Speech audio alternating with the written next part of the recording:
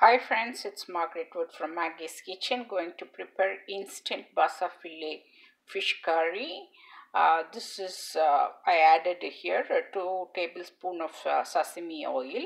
Here I have uh, one and a half pound of basa filet washed in salt water and added uh, turmeric to it. Here I have 3 um, um, tomatoes diced into pieces. In that I added 1 teaspoon of red chili, 1 teaspoon of uh, coriander powder uh, and uh, 1 teaspoon of salt. Here I have vadam. Uh, vadam is um, Indian made homemade which is used for fish curries. This I made like 4 years. It can stay, stay for how many years you want it is good unless and until you prepare in a proper way so that uh, the vadam should not get any smell out of it. Uh, so it's a very good ingredient adds everything in, into it. And um, i'm having that vadam half of the vadam. Uh, this is uh, like a full ball but i took half of from the ball because it's too much for this uh, curry. And I added curry leaf here. I have uh, red chili diced into pieces. Um, the, I took four red chilies diced into pieces and I'll be adding half a teaspoon of mustard oil, uh, mustard uh, seeds and a little bit of uh, uh, peppercorns. So once this oil is heated, I will add uh, the mustard seeds. First I will add the vadam uh, so that vadam should get roasted and it gives good smell to the items then we will add the red chilies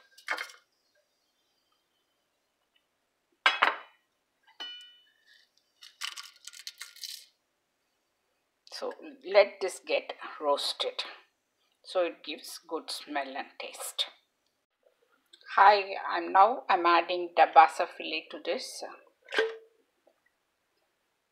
So close it and uh, wait for basa fillet's time for cooking is 8 to 10 minutes. But uh, mm, uh, let's see if even it cooks before that we can take it out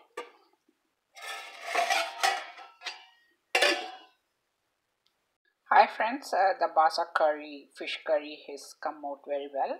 I'm switching off the stove and tastes good smells very good adding fresh coriander and i'm going to leave inside that so that this uh, fresh coriander adds some more taste and smell to the curry.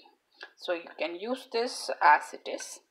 Uh, like a soup if you want to taste uh, eat you can um, but I will normally use with the steamed rice. Um, you can also add as a side dish for your bread.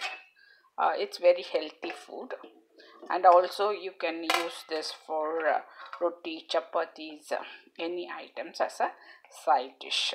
It's uh, uh, home cooking is made easier healthier and tastier. Uh, uh, thanks for your subscription and thanks for watching uh, it's Margaret Wood signing off from Maggie's Kitchen. Basa filet fish curry within 15 minutes.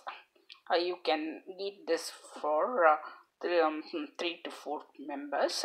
And uh, one more thing is uh, when you make fish fry um, this creates lots of water. So I added only one cup of water. See how much water it had come. And it has come out very well. Smells very good so when you make curry you will not use much oil for the roast for frying fishes. So instead of that you can make a fish curry uh, which is suitable for quinoa or any products we want to add as a mm, on top of it. And also with millet rice and any red rice or black rice.